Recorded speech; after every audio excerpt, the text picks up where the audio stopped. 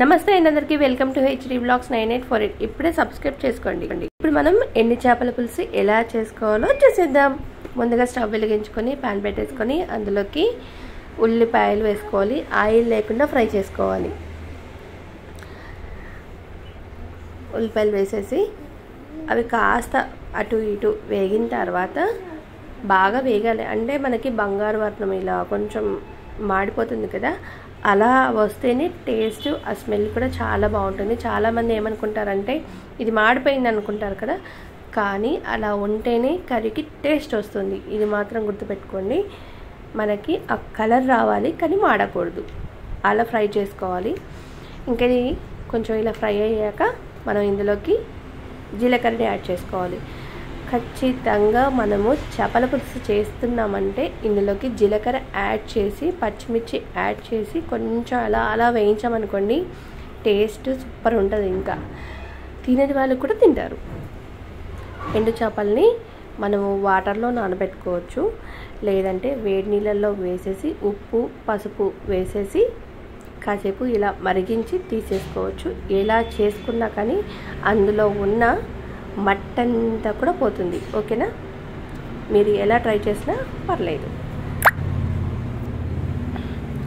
మనం ఇలా చేసుకున్న తర్వాత మంచిగా ఒక్కసారి వాటర్ తీసేసి మళ్ళీ ఒకసారి కడుక్కొని నీట్గా కడిగేసుకొని వాటిని మనం ఏం చేయాలి అని అంటే పక్కన పెట్టుకోవాలి.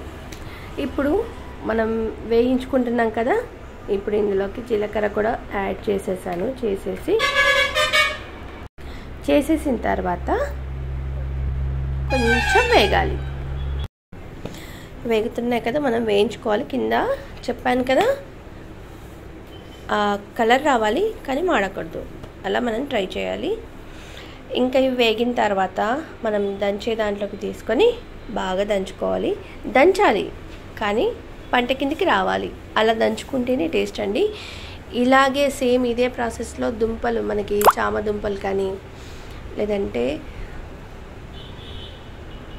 పుల్లగంద ఉంటుంది కదా పుల్లగంద పులుసు. మీరు ఇలా ట్రై చేసి చూడండి. చాలా అంటే చాలా టేస్టీగా ఉంటుంది.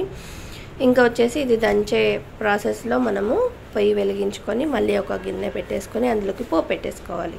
ఆవాలు జీలకర్ర పచ్చిమిర్చి ఉల్లిపాయలు కావాలంటే వేసుకోవచ్చు లేదంటే పేస్ట్ అన్నీ కూడా వేసేసిన తర్వాత పసుపు అల్లం ఎల్లిగడ్డ పేస్ట్ వేసిన తర్వాత ఇప్పుడు ఎండు చేపల్ని మనం పక్కన పెట్టుకున్నాం కదా ఆ ఎండు చేపల్ని వాటర్ అంతా తీసేసి మనం ఇందులోకి వేసేసుకోవాలి.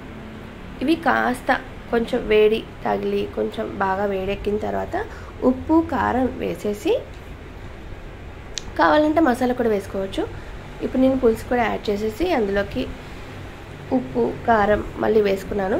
వేసేసి కరివేపాకు ధనియాల పొడి మెంతి పొడి అన్నీ కూడా వేసేసిన తర్వాత కరివేపాకు యాడ్ చేస్తే స్మెల్ బాగుంటుంది టేస్ట్ బాగుంటుంది. అది అంతే. అందరూ ట్రై చేయండి. ఓకేనా?